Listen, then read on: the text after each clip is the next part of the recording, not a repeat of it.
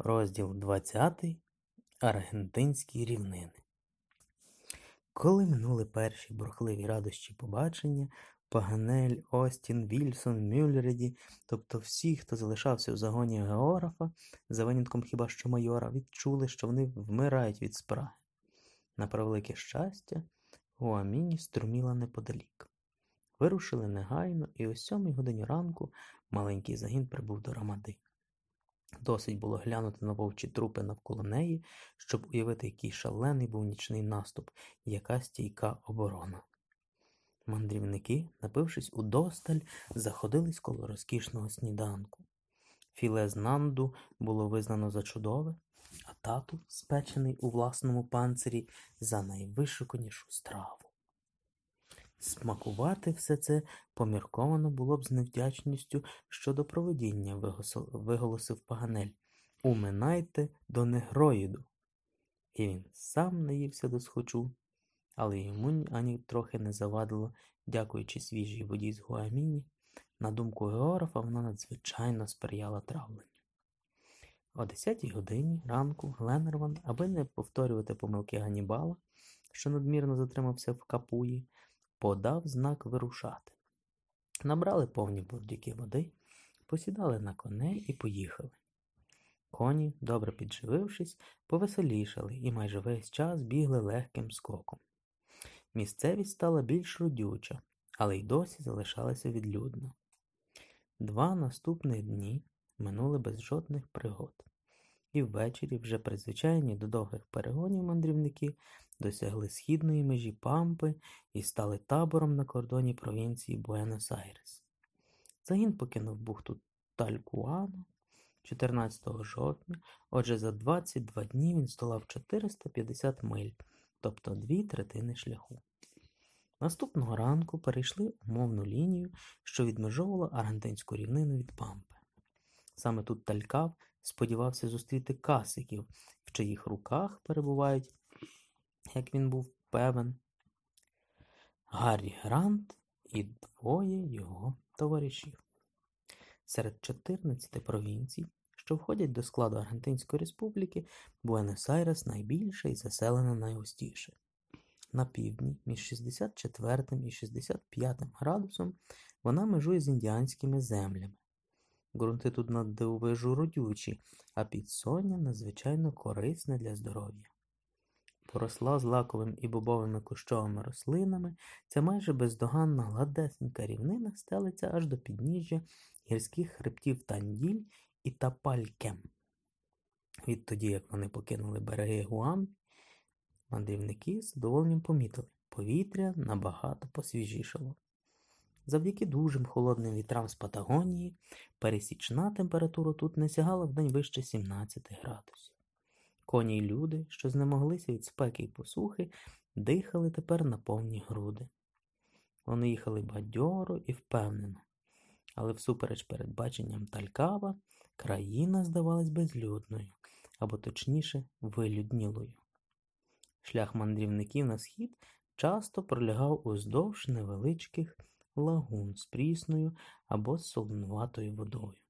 У прибережних чагарниках стрибали корольки, весело щебетали жайворонки і тангари, гідні суперники колібрі за барвистим блискучим пір'ячком.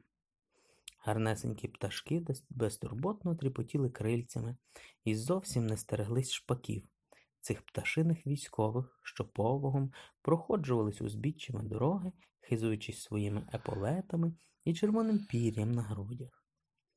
В колючих чагарях погойдувались, наче креольський гамак, рухливе гніздо птаха Анубіс, а берегом озера, розгортаючи назустріч вітрові крила вогняного кольору, симетричними табунцями проходжали чудесні фламінго.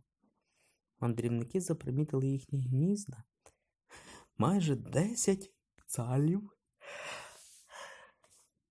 заввишки, що мали форму зрізаних конусів і згромаджені сотнями одне біля одного, утворювали, наче маленьке місто. Наближення людей не сполохало фламінго, і це, як виявилось, зовсім не влаштовувало вченого паганеля. Вже давненько мені кортить подивитися, як літають фламінго, мовив він до майора. От і добре, озвався майор. Отже, раз випала нагода, я її використаю. Використайте, поганелю. Ходімо зі мною, майор, іди й ти, Роберте, будете за свідків. Усі поїхали далі, а Паганель з майором і Робертом звернули вбік і попрямували до зграї фламіну. Наближившись на відстань рушничного пострілу, Паганель пальнув у повітря, бо не мав на думці марно проливати пташину кров.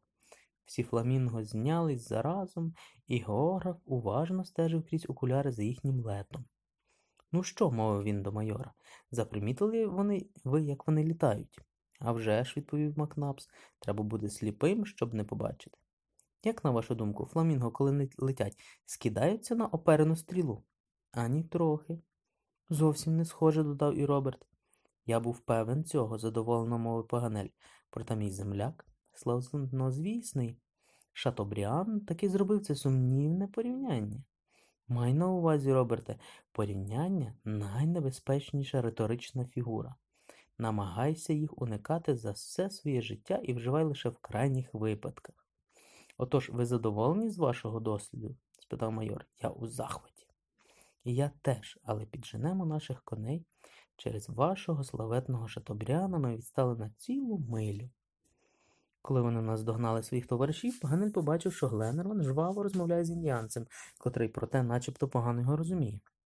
Талькав часто зупинявся, щоб оглянути обрій, і щоразу на його обличчі відбувалось щире здивування. Гленнерван, не маючи поруч свого звичайного тлумача, намагався сам розпитати індіанина, але марно. Щойно запримітивши географа, він гукнув до нього здалеку Швидше їдьте до нас, друже Паганелю, ми тут із Талькавом ніяк не порозуміємося. Паганель поговорив кілька хвилин з патагонцем повернувся до Гленнервана. Талькава дивує обставина, Справді досить чудна, мовив він. Яка саме?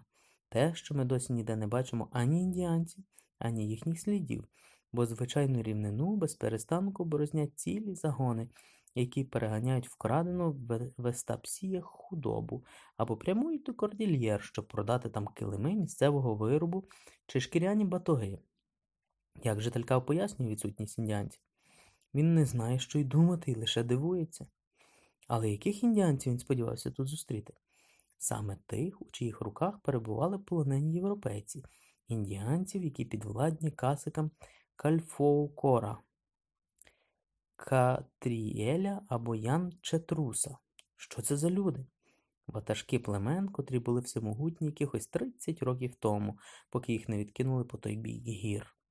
Відтоді вони скорились тій мірі, в якій взагалі можуть скоритись індіанець і кочують пампою так само, як і по землях провінції Буенос-Айрес. Я теж дивуюсь, не зустрічаючи їхніх слідів у краї, де вони, звичайно, грабують. То що ж нам робити? запитав Гленнерван. Зараз дізнаємось, відповів Паганель. Він поговорив з Талькавом і сказав: Ось його порада, що видається мені справді розумною. Треба їхати далі наміченим шляхом на схід аж до форту Незалежний. Він лежить на нашій дорозі. І там, якщо ми не зберемо відомостей про капітана Гранта, тоді знаємось принаймні, чому з гарантійських рівнин зникли індіанці. А форт цей далеко звідси? спитав Гленнерман. Ні, він розташований на С'єрра Танділь, миль за 60. І ми прибудемо туди позавтра ввечері. Гленнервану було дуже прикро. Не знайти індіанців у пампі, хто міг би цього сподіватися? Звичайно, їх тут бував навіть забагато. Очевидно, сталося щось особливе, раз вона зникли. Але коли Гаррі Грант був справді їхній бранець, конче треба було дізнатися, повели його на північ чи на південь. Це питання дуже непокоїло Гленнермана. Ні в якому разі не можна допустити, аби сліди загубились, і тому найрозважливіше послухатись поради Талькава і дістатись до селища Танділь. Там, принаймні, буде з ким поговорити. Близько четвертої години дня на видну колі показався горб, що на пласкій поверхні видався за справжню гору С'єрра та Пальке. Тут мандрівники стали табором на ніч. Наступного дня вони перебрались через цю гору без жодних труднощів йшли піщаними пагорками, положистими схилами. Людям, які здолали вершини кордільєр, цей перехід видався справжньою дрібничкою. Коні майже не уповільнювали ходи. Опівдні вони проминули занедбаний тепер форт та пальки. першу ланку в ланцюгу фортець, що простягся вздовж південного кордону, захищаючи його від індіанських наскоків. Та на дедалі більший подив Талькава індіанців і тут не було.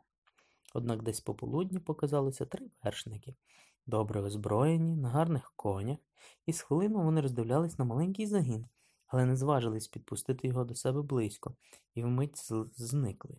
Гленарван розлютився. Гаучо, мовив патагонець, називаючи тубільців тим ім'ям, котре спричинилось нещодавно до палкої суперечки поміж майором і Паганелем. А, Гаучо. вигукнув Мак-Наббс. Ну, Паганелю, адже сьогодні не дме північний вітер. Якої ви думки про цих мирних пастухів? Тої думки, що вони скидаються на відчайдушних розбишак. А від враження до дійсності, мій дорогий вчений? Один лише крок, мій дорогий майоре. Всі голосно зареготали, але це ані трохи не збентежило Паганеля, і він зробив навіть дуже цікаве спостереження над зовнішністю цих індіанців. Я читав якось, мовив він, що в арабів риси рота виявляють жорстокість, а в очах світиться людяність. В американських індіанців якраз навпаки, очі в них надзвичайно злі. Жодний знавець фізіономіст не спроміг себе влучніше визначити зовнішність індіанця.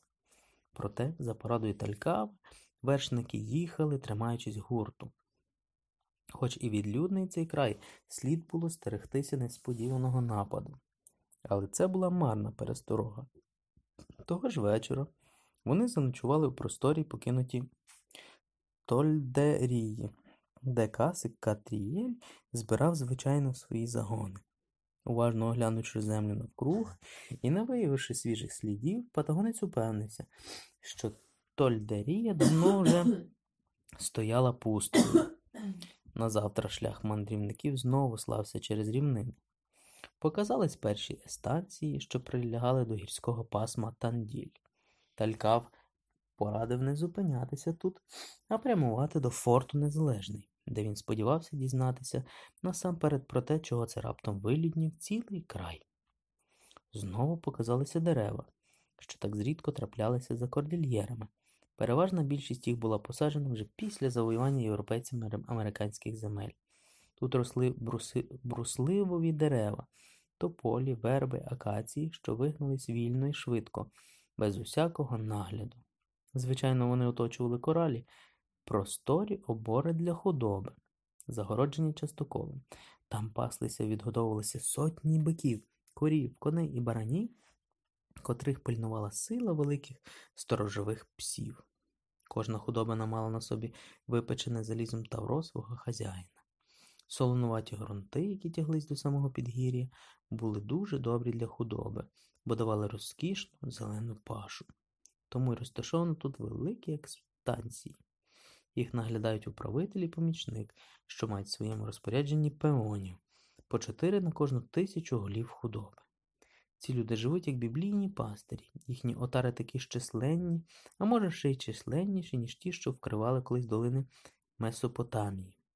Але великим скотарським господарством пампи бракує і пастухів, і старожитньої патріархальності, вони простісінько торгують собі худобою, та й по тому. Паганель звернув увагу своїх супутників на цікаве явище.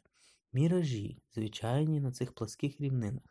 Здалеку екс- естанція здавалась великим островом, а рядки тополь і верб неначе відбивались в прозорій воді, котра весь час тікала, відступаючи перед мандрівниками.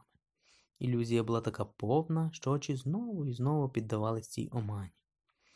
Протягом дня, 6 листопада, мандрівники проминули кілька естанцій і одну-дві саладеро. Тут ріжуть худобу, відгодовану на соковитих пасовиськах. В саладеро також засолюють м'ясо тварин. Ці бридкі роботи починаються, звичайно, наприкінці весни. Саладероси йдуть до коралів, спритно ловлять худобу за допомогою ласо і ведуть до саладеро. Тут забивають сотні биків, волів, корів і баранів, здирають з них шкуру, зрізають м'ясо з кісток, проте бики часом опираються, і тоді живолуб обертається на Тореадора.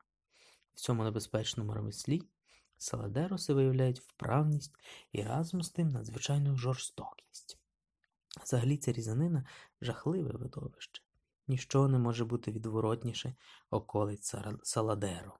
Із цих страшних згород здіймаються разом з смердючими випарами люті крики різників, зловісний гавкіт собак, жалібний стогін конаючих тварин, а у Рубу і Аура величезні шуліки аргентинських рівнин, що злітаються сюди без ліку за два десятки льє, видирають з рук різників ще трепетливі нутрощі їхніх жертв.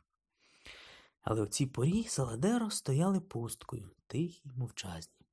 Час великого забою ще не настав. Талькав підганяв мандрівників. Він хотів цього ж вечора прибути у форт Незалежний. Коні, заохочувані вершниками і прикладом тауки, мчали рівниною крізь високі злакові трави. Вони минали ферми, оточені позубленими парканами і глибокими рибчаками. Вгорі кожного дому була тераса, з якої мешканці, завжди готові до бою, могли палити з рушниць у грабіжників. Можливо, Гленрон здобув би тут відомості, що його цікавили, але безпечніше було їхати до селища Танділь. Вони ніде не зупинялись.